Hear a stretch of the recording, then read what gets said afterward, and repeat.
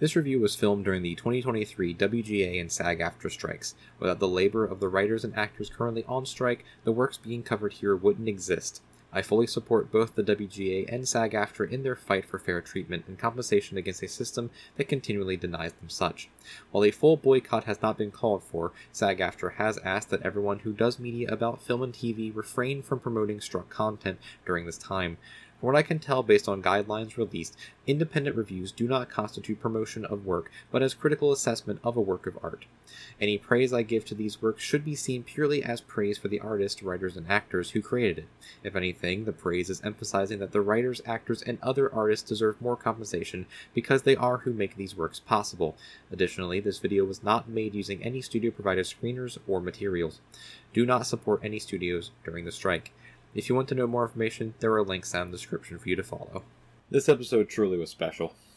It it it just was really special. Hello everyone and welcome to the latest Minty Reviews and we are here for the next episode of Ahsoka. This episode is episode number 5 titled Shadow Warrior. And as I mentioned in the little cold open, this episode was something special. It it just it had that feeling to it. I mean, it, it was a long episode. It was for sure a long episode. It was 51 minutes long, give or take, with credits and everything. But it it just had a feeling to it uh, all the way through for everything it did. This episode, it, it, was a very, very special episode, and it felt very, very good. And you know, let's just get into it, shall we? let's just get into it because like I don't know how how much non spoilery stuff I can say here. So as I do normally with the reviews, we're gonna do a non spoiler section first, and then a spoiler section afterwards. So we're gonna start with non spoilers here first. So non spoilers. And this episode was very special. It felt like a very special episode, and it felt like a very, very good episode. It was a very, very good episode from start to finish, it was an incredible episode filled with a lot of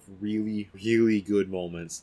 Um, a lot of really, really great character stuff. Some amazing Star Wars stuff as well in there that, that I will probably talk about in the spoiler section. Some amazing music by Kevin Kiner. Absolutely amazing music. Some phenomenal photography, like like cinematography here, and some phenomenal directing by Dave Filoni it, it this this was a this was a peak episode of Star Wars of any of the Star Wars series like animated live action any of the Star Wars. This was a peak episode of Star Wars for sure. And it was it was so good.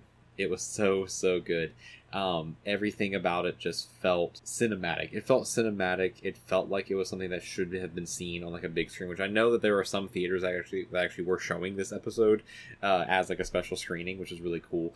Uh, obviously, not any of my local ones, but that's why I'm here in my room doing my react uh, doing my review here after having just watched on Disney Plus. Th- this was a very cinematic, very good episode, and th- this episode alone kind of helps bolster up the reason why there are Star Wars series on Disney Plus. At least, at least to me, is this feels like one of those types of episodes, and there they just had a very big energy to it that really felt so good, so so good to watch. And man, Rosario Dawson is now killing it as Ahsoka. I will say she she is killing it as Ahsoka. Mary Elizabeth Winstead feels like Hera now, and and those those two are feeling like their roles, like for sure. They're feeling like their roles, hundred percent.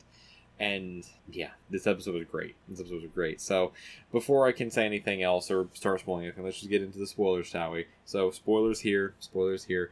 So in three, two, one. Ahsoka the White. Let's just let's just say that Ahsoka the White. So to start off with that, there was an interview a while ago. I don't know exactly when it was, but there was an interview before the show came out where Dave Filoni basically said that he views Ahsoka Tano as like Gandalf, uh, as like Gandalf is in Lord of the Rings, where it's this uh, she's this really important character, this really powerful character that has to go through a trial first to then come back even stronger. And as we basically saw from last episode with her basically dying and going to the world between worlds uh, and seeing seeing some type of either force projection, memory, astral thing, world between worlds, force go. We don't know whatever Anakin was. He never explained, but we get to see Anakin. We get to see basically her projection of Anakin, and they actually make a little joke about her where she's like, "Wow, you look so young," and then Anakin's like, "You look old." It's like, yeah, it's it's it's the version of Anakin that that she remembers that she's seeing, which makes perfect sense. Um, it's not the brother, though. Wouldn't be surprised if it technically was the brother, but you know, whatever. We're even not going into that. Didn't explain the world between worlds. Didn't explain any of that, and I didn't think they were going to, unfortunately, because uh, no, no, don't need to, don't need to bog it down by explaining the, the lore or the the mystical stuff. But basically, to, to go back to the Gandalf thing, so Dave Filoni basically sees Ahsoka as Gandalf, and Gandalf, if you don't know Lord of the Rings, which you Lord of the Rings, if you don't know Lord of the Rings, Gandalf has to fight the Balrog, which is this big demon creature, basically, um, and fight this this Balrog. And he dies. He dies during this fight. It's a very big, epic fight that happens, but he dies during this fight. However, Gandalf then comes back uh, as a more powerful version of himself. As instead of Gandalf the Grey, he becomes Gandalf the White, where he's basically this. He's basically God at that point. He's basically like this godlike wizard. And Dave kind of sees Ahsoka in the same way, where Ahsoka had to fight this trial against Anakin. To in in a sense, what they do here is she finishes her training. Uh, she finally gets to finish her Jedi training with Anakin and get that final lesson from Anakin in one way or another by visiting her past. And oh boy, okay. So in the world between worlds, we'll get to the other stuff with Hera and Jacen and and and Captain uh, Teva in a bit, but we, we need to focus on the Ahsoka stuff here because this is this is the this is the important stuff of this episode. So in the world between worlds, where she's talking with Anakin, they they start to fight, and it's not really a it's a fight, but it's it's training, and it's Anakin basically being like, "Hey, you never finished your training. I'm going to finish your training now." And Ahsoka being Ahsoka's like, "What do you mean? You can't really do that? Like like I don't know what else you can teach me." And there's a lot you can teach, and they go into they go into Ahsoka's past, and we literally see the Clone Wars. we actually drop into the Clone Wars. It's very foggy, very dusty um, very non un, nondescript where they are at, but it's supposedly one of the first battles that um, that Anakin took Snips um, into uh, to to see war. Unfortunately, and they brought back the same actress who played young Gamora in the Avengers movies to play young Ahsoka, which was really funny. I just think that was pretty great. So now she's played two young alien characters, but she looked good. At first, I was like, okay, a little bit, a little bit off, but as she as as as the episode moved on, I'm like, no, no, no, she she's good. She she's good. She's she's good as as young Ahsoka. She she's fine. She she had that feeling too. She she felt like Ahsoka, which was really great. But we get to see Anakin taking her through her memory, uh, her memory of, the, of, this time, and trying to teach her this lesson uh, of uh, of of what her purpose is, what what she's there for, why is she a Jedi, kind of a thing. It almost seems like Anakin's not there, like he's part of the memory still, and she's fully there and conscious and kind of like lucid about it. But basically, throughout that, we get we get through that, and then it goes from her as a kid, as, as kid snips, to her as basically. Um, teenage snips, young adult snips from like season seven of Clone Wars, where we see the siege of Mandalore. And again, it's all foggy, all dusty. We don't get to get really see anything. But she it's, it's the siege of Mandalore where Anakin wasn't. He wasn't actually there, and it's basically Ahsoka telling him like, "Is this is this my purpose? Is my purpose just to fight? Is it just for war?" And Anakin basically says like, "You're missing the point. Like the, there's there's a bigger point here. You're missing the point." And they have a second they have a, another big fight this time it isn't light side anakin it's dark side anakin where his saber changes from anakin's original lightsaber of blue to vader's and we hear a little bit of the vader theme his voice begins to modulate to sound more like Vader. There's some lightning flashes every once in a while. It's so great because it lightning flashes into him being Vader, and so so great. And his costume also changes too. Like in this whole time, Hayden Christensen is knocking out of the park here. Just, just it, just it, in a sense, not in a sense, just overall, Hayden Christensen knocking out of the park. And the de aging on him actually looked really good. I will say it actually looked very, very good. I think they used it very, very well here.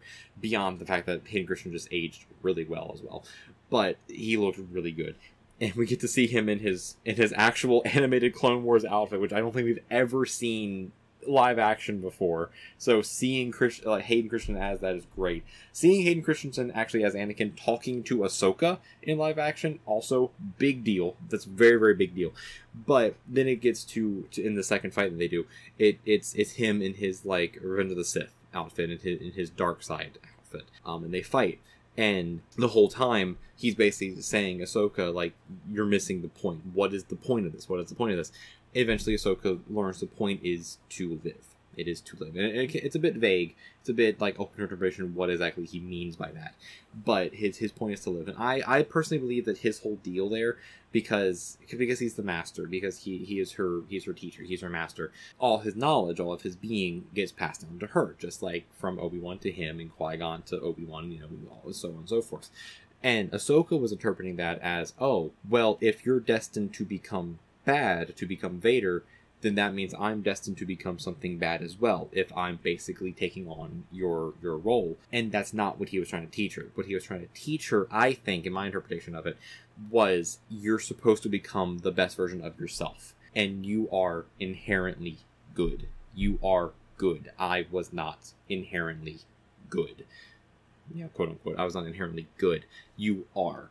So you need to live in order to become the best version of yourself. Where she does. She gets rescued by Hera and, and Teva, Teva and all them. And that's basically their story. The the B plot of this is is Hera, Captain Teva, and um, Huyang and Jacen and Chopper trying to find Hera, or trying to find Ahsoka. That's what they're doing. They're just like they're just like scouting the planet or scouting the ocean, trying to find Hera, uh, trying to find Ahsoka. I keep going Hera, trying to find Ahsoka, and Jacen realizing, oh, he has Force powers. he can he can hear them in the world between worlds. He can sense them in the Force, um, which is cool. They actually we actually get a name drop of Kanan. So great, we get a name drop of Kanan. Love it. But he's starting to feel his Force powers, which is really cool and and they find Ahsoka. They they find Ahsoka, and that's like the entire B plot. The entire B plot is just them looking for Ahsoka, and then going back to Ahsoka in the War Between Worlds, like doing her actual plot stuff, which is really cool. However, when she comes back, she wakes up and she's wearing all white, and she's now full Jedi Master Ahsoka. She is Ahsoka the White, just like with the with the Gandalf comparison, where she is now reborn as this all powerful Jedi, where she is fully uh, like fully taken in and learned the lessons of Anakin and become a Jedi. She is Ahsoka the White, which is really really cool. And then the end of the episode, I'm skipping over some stuff here, but then the end of the episode, they basically are like, how can like can we find Sabine? Is there any way we can find Sabine? and Ahsoka uh, has a thought, like starts thinking. She starts like trying to like relive the memory, kind of. She's doing some some, some like Jedi stuff, you know and they find out that uh, um, Skoll and, and Hati and Morgan Elsbeth took Sabine to the other galaxy to find Thrawn. They took him there, so it's like, okay, how do we follow him then? And she sees a Purrgil. She sees a Purrgil. She's like, I got an idea. It's a stupid idea, but I got an idea. And they start, you know, doing the idea, and it's a stupid idea, but it is. It is like a peak Rebels idea, I will say. This this idea is peak Rebels, and I loved it so much because I had the Purrgil in it. But the Republic comes, the New Republic comes. They're trying to they're trying to to block them because they they're trying to block them. Um, they can't send any help because they're like, hey, you're already on this unsanctioned mission anyway. You don't have any proof of anything, even though Hera's right the whole time, and and all that. And Ahsoka, being being now all powerful Jedi Master Ahsoka, uh, talk to the Purrgil. she just talks to the Purrgil and is like, "Hey, yo, can we? Can you just like eat us real quick and then just like." Pew! just like hyperspace, uh, hyper jump to uh, to the other galaxy, please, on your migration path. And that's what they do. like they just fly Ahsoka's ship into the mouth of a big Purrgil, sit there, and then the Purrgil just takes off. And Huyang has a great has a great point, uh, has a great line where he's like, "So do you know where they're going?" And Ahsoka's like, "No." It's like, "You don't know where they're going?" It's like, "No, they're going somewhere." It's like, how do you not know where they're going? It's like, I, I don't know where they're going. But hey, anywhere's better than not going anywhere. It was this phenomenal moment where like Huyang just like turns to the camera, just like stares into the camera, is like, what have I got myself into? Why am I here right now? What am I doing? And the episode ends with Hera uh, telling Ahsoka, "May the Force be with you." You know, good luck finding uh, Ezra and Sabine and finding our friends and then we get to see the Purrgil in live action do a hyper jump, and it's it's so cool. As, as, someone who watched Rebels, it's so cool actually seeing that in in live action and it looking the exact same and be like, this is so cool. This is just a really cool thing. This episode was a lot, okay, just based on like that that basically summary and stuff and and all that. This episode was a lot, and what I really felt from it was a massive character growth for Ahsoka, and while we while we still haven't gotten the reason that Ahsoka felt so different in this series and why her and Sabine had like a rift between them and why Ahsoka felt kind of like alone, we haven't had we haven't got any of that. What we did get, however, is we got massive character growth, and actually, I guess we kind of did get a little bit of why she felt like that. Is like she started feeling like she was becoming Anakin but in a bad way, where she was where she felt like, well, if if my master is going to become this ultimate evil of Vader, and it with, with having a Padawan, if I take on a Padawan, I become a, a master as well. Will I do the same thing? So maybe that's why she kind of went away from the Sabine. They don't they don't explain that at all. That's just me theorizing and and, and being being in a, a slight sick state, uh, thinking stuff, just my brain going, uh, ADHD brain going off on firing all cylinders here. So anyway, this episode was really really good, and it showed a lot of character growth for Ahsoka, especially this version of Ahsoka, this very much mature version that Rosario Dawson is playing, where it's like, yeah, no, she is a master Jedi now. She she fully understands what what what's going on. She understands herself, and she understands that she isn't destined to become this great evil like Anakin was. She is not she she's not beholden to a destiny at all. She's beholden to herself, and that's honestly kind of a, a, really important message for everyone to take away from this from this series and from this episode. Is hey, don't be beholden to to what you think is your destiny. Just become your most true, authentic self, everyone. That's uh, that's what it's all about. So I'm I'm extremely excited for the rest of this season and to see how they land this season because it's we only have like three episodes left I think because I think there's eight episodes in the season we're on episode five so I think there's only three episodes left. So it's going to be very intriguing to see how they land this series and I for I firmly believe at this point they're going to be able to land it very well. I firmly believe they're going to be able to land it. Just because like Dave Filoni has shown throughout this entire series that he knows what the hell he's doing with these characters especially Ahsoka which is his baby he knows what to do with Ahsoka.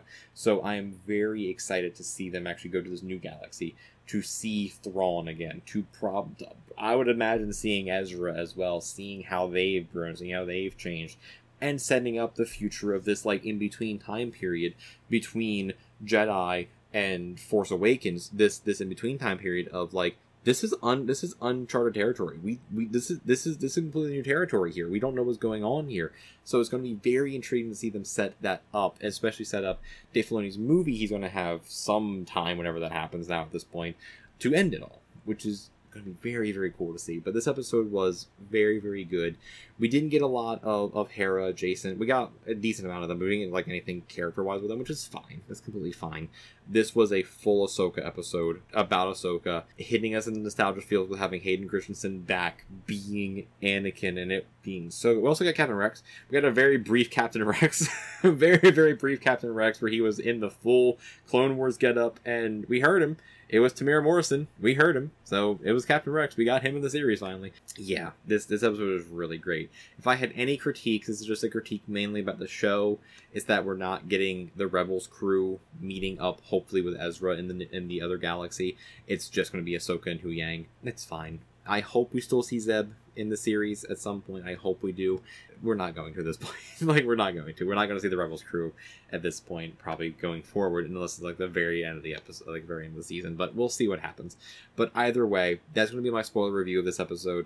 Uh, overall, final thoughts is that it was phenomenal. It was a great, phenomenal, ep- phenomenal episode that I I really love. This was honestly one of the best. I feel like best episodes of Star Wars they've done in quite a long time. And I I firmly think this was one of the best episodes of the live action series of Star Wars, especially the Disney Plus series, right up there with a lot of episodes from Andor. I'm still putting Andor at my number one Star Wars series right now, right behind Rebels. Um, still putting Andor right there at the top. So this episode alone was matching like the entirety of Andor, just just with it all and I'm I'm very excited to see how Ahsoka lands. Very, very, very excited to see how the show lands. But either way, if you watch this episode already, let me know down in the comments what you think about this episode of Ahsoka and where do you think they are going with these last three episodes and what do you hope to see in the last three episodes as well. And also just in general, just what do you think about this episode? Like just how how excited were you during this episode because I was I was so hyped for this whole episode. So just let me know that down in the comments as well. And if you like this review as well and you want to see more, leave a like. It definitely helps out with the reviews, uh, with the algorithm and getting the videos noticed and the YouTube algorithm and everything, and getting the channel to grow a little bit more as well. And if you want to help the channel grow as well and you have not done so yet, uh, leave a little subscription down below. That definitely does help out. Truly means a lot to me and helps the channel and this community uh, that I've that I've tried to build and we've all tried to build together, grow into something uh, really cool, really cool. So if you want to do that, subscribe as well. Definitely does help out. And if you want to see more from the channel, right over here's going to be another playlist of another Star Wars thing you can watch. Go ahead. It'll probably be Andor actually because I just mentioned Andor. So go, go ahead and watch Andor. Go ahead and watch my reaction to Andor. They're pretty good. And over here's going to be a video that YouTube recommends for you as well. Until next time, just stay Star Warsing, stay true to yourself, and I'll see you in the next one, everyone. Till then. May the force be with you.